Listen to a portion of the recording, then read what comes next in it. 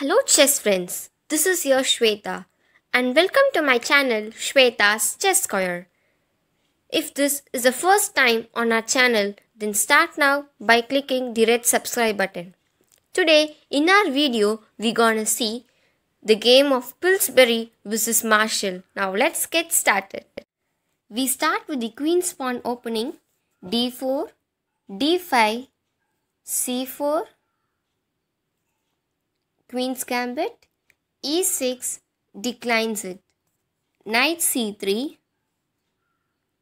c5, the Tarrasch defense, knight f3, knight c6,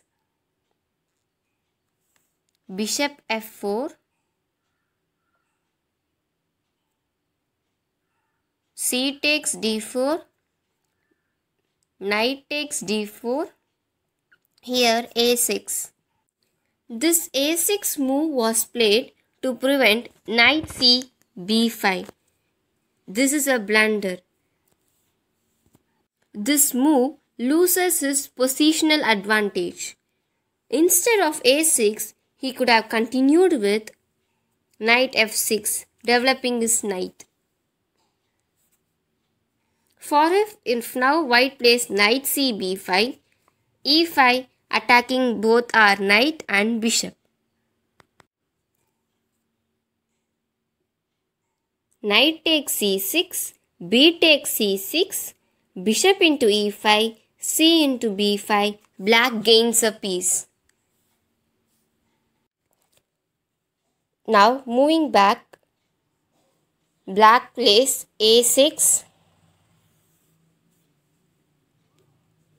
to which white reply was e4, queen b6, knight b3, d4 attacking the knight, knight e2, e5 an impressive move attacking our bishop, bishop d2, bishop g4. Instead of bishop g4, if he plays knight f6,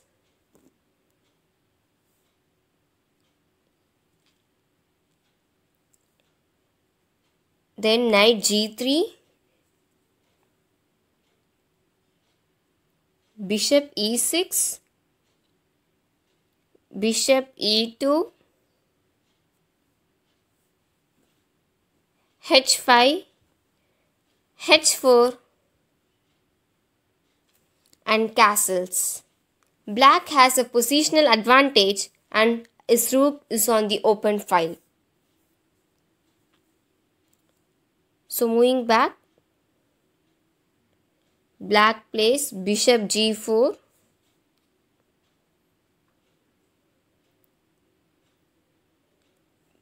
bishop to g4,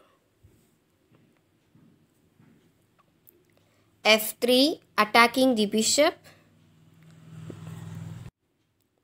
bishop e6, retreats it, knight g3 d3.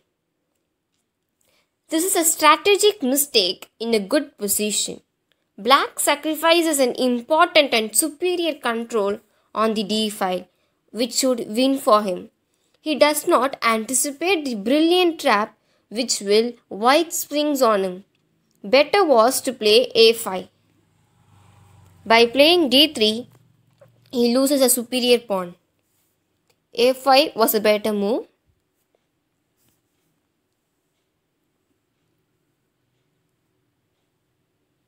After d3, white plays c5 attacking our queen.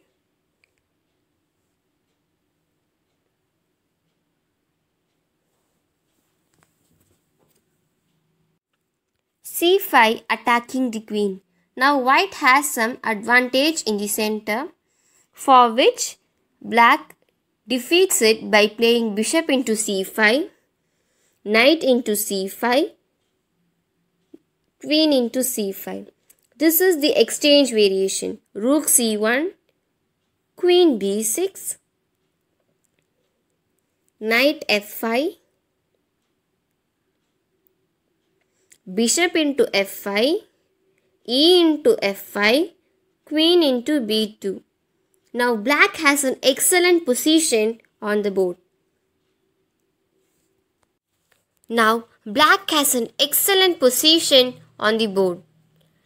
If he plays bishop into c5, he has an extraordinary winning. Now let's see how the game went. Moving back, now instead of c5, white plays bishop into d3.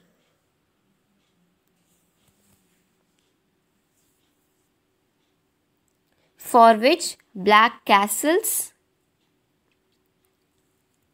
queen e2, knight d4, knight into d4, queen into d4, the exchange variation. Now black thinks that he has a winning position, but after white's immediate castle,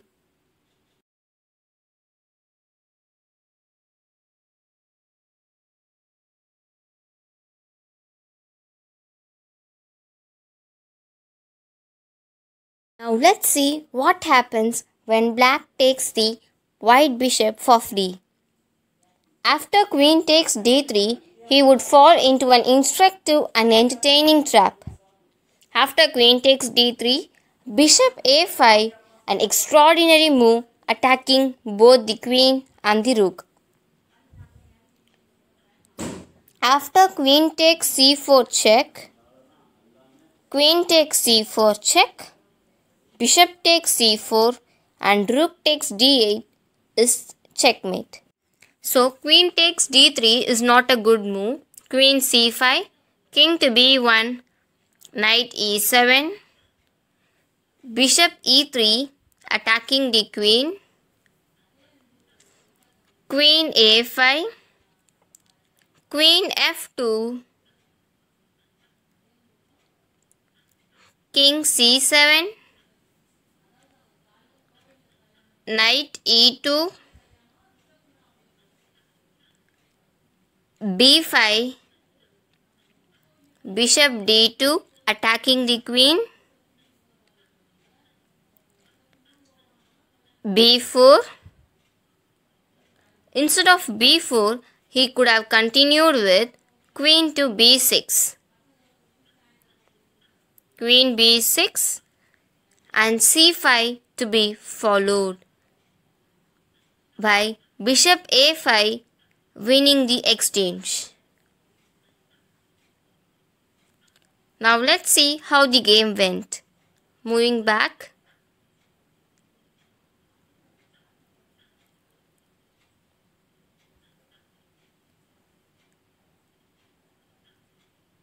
Now white plays. Queen a7 check, king c6, knight c1 knight c8 queen a8 check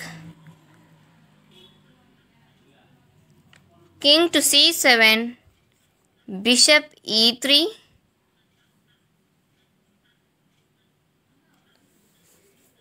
knight d6